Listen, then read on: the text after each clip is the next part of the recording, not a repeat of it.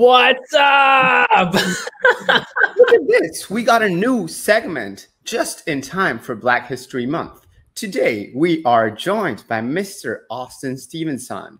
He is the Chief Innovation Officer at Vertosa, one of the most interesting private companies in the cannabis space. Austin, welcome to Benzinga Cannabis Insider.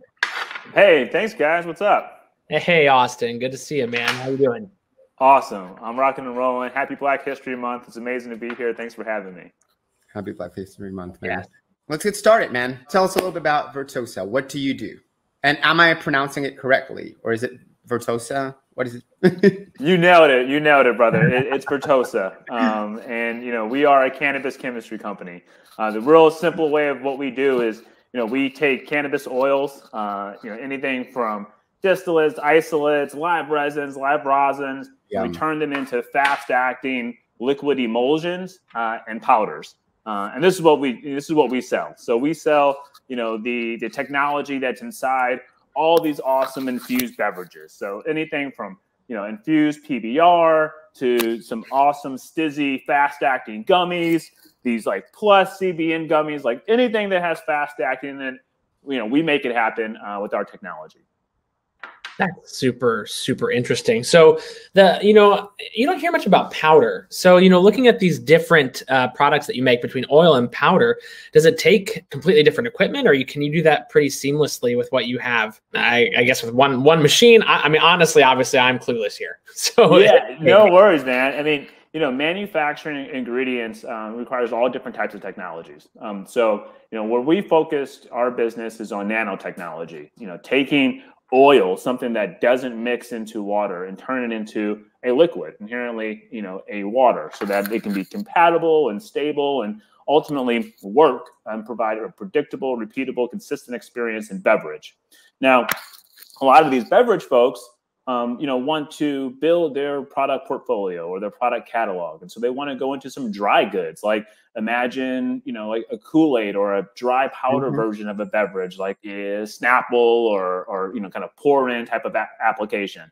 Well to make a powder you do have to use a different technology. Um, so it's not the same technology that we use to make with the liquid uh, instead with the powder we have a few different pathways to get there um, you know some of it use techniques like cool drying some use techniques like spray drying some things use things like substrate application I mean, I can nerd out on all the chemistry all, all day long, but ultimately, oh, yeah. to answer your question, yes, it's different technology, different application, different function. Uh, but that's that's what we get to do all day long is create that that that tech.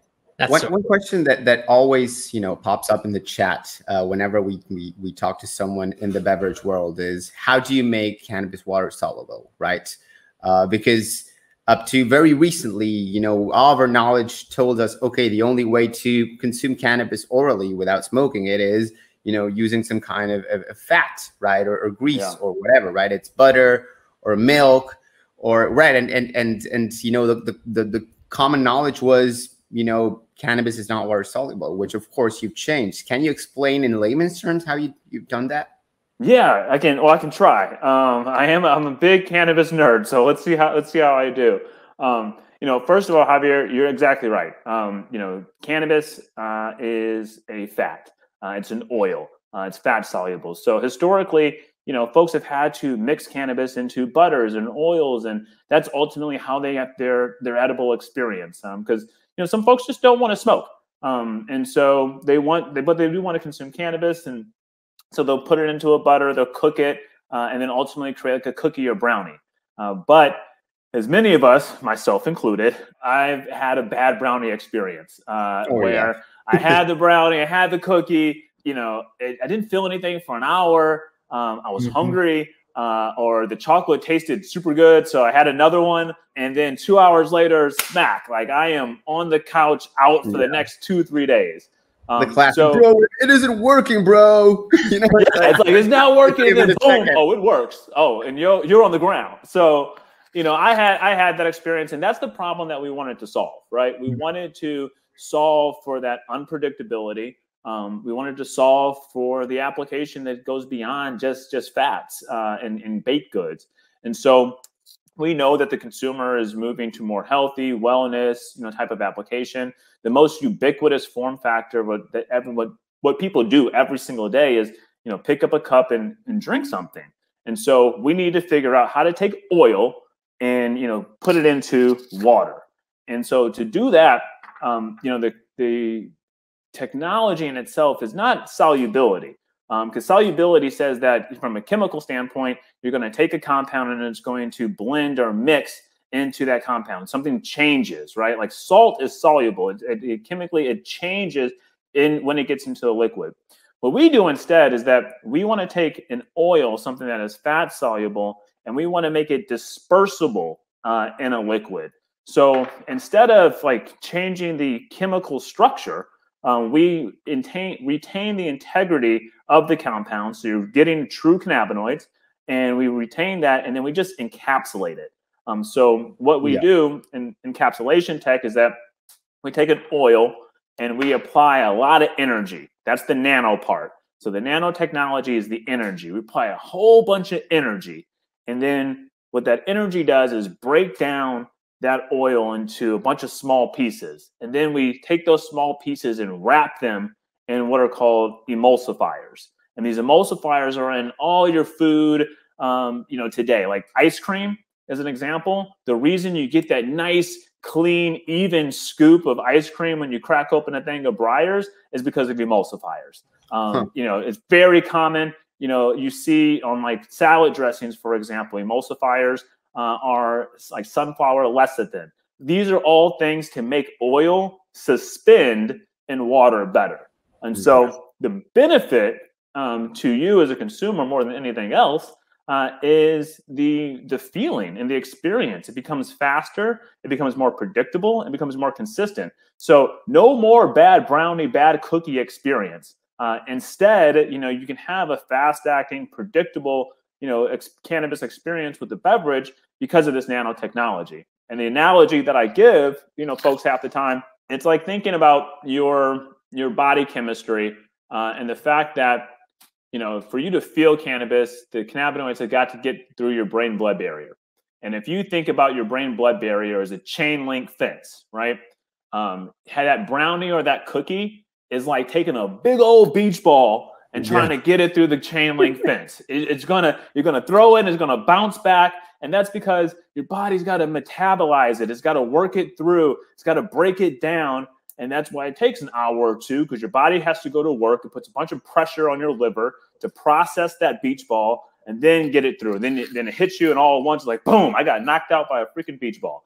uh, so instead, we apply high energy nanotechnology and we turn that beach ball, that oil, that big old ball into a pile of gravel or a handful of marbles. And if you take that, you know, pile of gravel or handful of marbles, you throw that through the chain link fence, they're going to pass through. So they're going to get through quicker because we're taking something really big and made it really small so it absorbs quicker so that it's more bioavailable and faster acting. So therefore, you're not waiting an hour or two hours. It takes 10 to 15 minutes. You start to feel it. You understand exactly how much you put into your body. So if you take this, you know, 10 milligram can of PBR, if you drink half of it, you know you've consumed five milligrams. Wait 10 to 15 minutes. Oh, I like that feeling. Okay, I'll drink a little bit more. I'll sip on it. Oh, I loved it. Like I'm I'm I'm high at 60 minutes and now I want another one. I can make it sessionable. I can have a couple. I can share it with friends. And now it's safe, it's reliable, it's consistent. You know, that's ultimately, you know, what we do and why we do it. This might answer your question. Yo, I think that was a great answer for Javi's question, but this might be the most interesting science class I've ever had, man. And, and like props to you for making this understandable to uh, in layman's terms, because that was awesome. Um, looking at the depth of your market real quick and, and, who you play with, obviously you have some big partners on the board. Um, and nanoemulsion technology is obviously picking up steam. If it, you know, it probably has been more popular than we realize. Um, but can you name a few uh, of the big time players that you work with in the space? Because obviously there are several.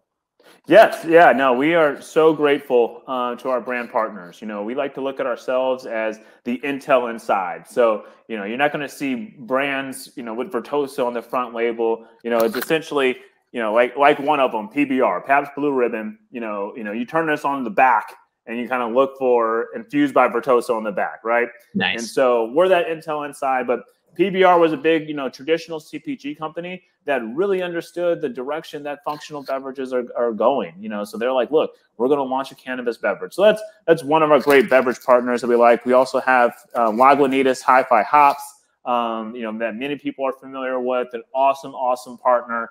Um, you know, and then a whole host of others. I, I was going to move this down. It's like House of Saka on there. They have this amazing, awesome awesome like mimosa oh, yeah, sparkling you know premium beverage line. It's it's great. And they're using strain specific stuff. So they have mimosa terpenes in here uh, from live resin to really give a sophisticated adult type of perspective on this beverage. Um, and then you may be familiar with the, all the good folks uh, on delta 8 that's really hot right now. And so the team mm-hmm. at wonder is an awesome awesome awesome product. Um, and they've recently launched their higher vibe. So you're getting 10 milligrams of Delta 9 THC plus 10 milligrams of Delta 8 THC. Uh, all derived from cannabis, so like the natural stuff. So not not the stuff that you're seeing at gas gas stations where it's like chemically altered CBD. No, this is the real deal Holyfield in terms of Delta Eight, Delta Nine, um, and then beyond beverage. You know, we've been having a ton of fun uh, in gummies. Uh, gummies have been awesome, fast acting, rapid onset gummies. And so, you know, one of my faves right now uh, is the, the new release by Plus. Um, Plus launched Ooh. their dual action uh, sleep gummies. So they have both the fast acting tech in there and the long lasting distillate in there so that, you know, you're getting the CBN and the THC, it's hitting you fast and then it's keeping you uh, to sleep longer. So, get you to bed quick, keep you keep you in bed longer with this like dual action technology. Um, you know, love this plus product. Highly recommend it for for all those that are out there. Uh, and then a whole host of others. You know, we have you know sauces that we infuse. Um, we have like you know the folks at Potli. They do the hot sauce sriracha. And you know we've been able to really help so many other folks like take their ideas uh, and bring them to market. So um, that's Very just good. a few to, to, to name, and you know, it's it, it's awesome working with every single one of them. Very very cool. Got one last question uh, to keep the segment uh, relatively short. Right, Black History Month. Right, we we do yeah. know uh, we've heard this again and again. Uh, blacks and Latinos are four times more likely to get arrested for cannabis possession in the U.S., even though consumption levels are very different. But guess what? Racism, uh, you know, systemic structural racism goes beyond just arrest, beyond the police, beyond punitive systems, it, it, and it permeates the entire corporate culture, right?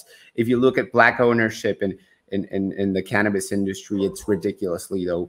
And if you look at, for black people in C-suites in the cannabis industry, it's ridiculously low. You know, you're one of very few people who are chief blah blah blah officer, right, at a at a big cannabis company, right? Yes, so, sir. I mean, how do you feel about this? Of course, angry and upset, but like, you know, elaborate a little bit. How do you feel? And what do you think can be done? What can we do as individuals and what can we do as companies and as an industry? Yeah, well, number one, I appreciate um, you asking the question um, and the acknowledgement of kind of you know where uh, the current state of the market is, um, in particular for for Black and Brown uh, and minority communities.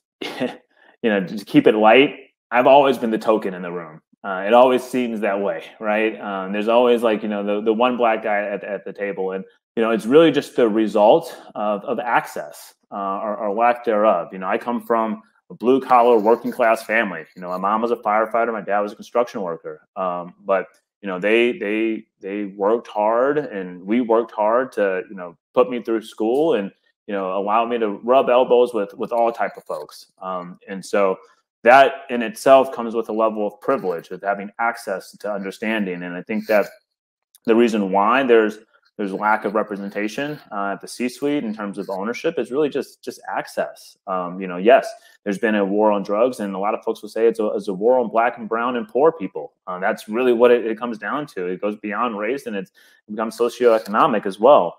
Um, when it comes to ownership uh, and it comes to leadership um, a lot of that is just access to capital um, you know, it's the, the fact of the matter is that when you're coming from black, brown, and poor communities, um, you don't have the access to a friends and family round that exactly. is required. I see this so many times. I've said it on the show, right? There's two things that I learned from writing this book for entrepreneur media called "Start Your Own Cannabis Business." I spoke to hundred different people in America who had successful cannabis businesses, and I learned two things. One, you can start your own business. No one had ever told me this, and, and my parents like prepared me for success, but success meant like making it to the top, like at a corporate structure or something like that. Never starting your own thing. That was not in the like in the in the in the cards number one and number yep. two was you know um even even even further is you know friends and family. And many of these people told me okay i, I you know raised a friends and family round just like one million dollars. And i'm like who the hell are these friends and family right? And I, please get an introduction. Who are these rich uncles right? And so that's that's the that's the biggest the biggest problem is access to capital because there's no lack of ideas and creativities in cannabis um, but where there's lack of execution and, and capital. And so, you know, how can we make this better? Well, number one, we have to acknowledge it. Number two, we got to take action. Um, and so, you know, I, I serve um, number one as an advisor on the Eaze Momentum Committee. And so, as part of the advisory committee, Eaze is doing a great job, you know, taking funds, putting the money where their mouth is, and investing uh, into Black and Brown uh, entrepreneurs uh, without taking equity, true grants. So the application and functional ap- application of grants and not equity is awesome um, because that is literally giving people money to start their businesses uh, and not taking anything. It's all giving and gifting. It's amazing. Um, secondarily, it's you know there's an, an, importance to other folks that are like me, uh, minority uh, entrepreneurs, uh, leaders, uh, to lead by example. And so I'm a big believer in you know um, bringing up as I build um, taking people with me on the journey. If you get to the mountaintop and you're alone, that sucks. Uh, I want a whole team of people with me, right? And so that's part of the reason how why the reason why we created Vertosa is to be a platform for innovation. You know, we said, look, mm-hmm. we're going to focus on being the ingredient manufacturer. Super simple, boring, B2B. You know, I'm going to sell you sugar, uh, but that sugar is the critical component to realizing a lot of these these brands uh, dreams and opportunities so if you have an idea as a beverage or you have an idea as a sauce i'll give you an example you know this is you know one of our good friends um, you know tess taylor uh, from saucy and tess said i have an idea i'm going to go savory not sweet you know um, she's a black yeah. woman from texas that came up with an idea she's like i want to launch this i'm like great you can use our technology um, and i'm going to help you get there and i'm going to introduce you to five people that can help you raise money. And I'm going to introduce you to five people that are going to help you manufacture your product.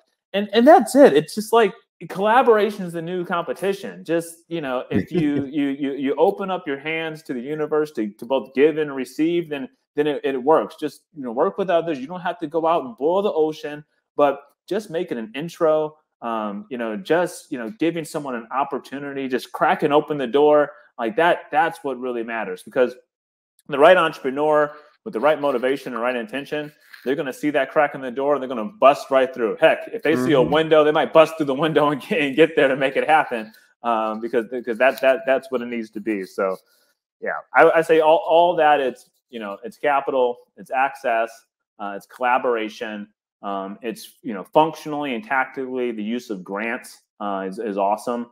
Um, you know those those are some things that we can do and and those that have um, you know, or those that have, it's it's, it's time to give back. Um, you know, I think it's Maya Angelou that said, if you, if you know better, uh, then you do better. Um, and I think that that is what's really really critical. Is so if you if you know there's a problem, uh, then be a part of this, be a part of the solution. Uh, don't don't perpetuate the problem.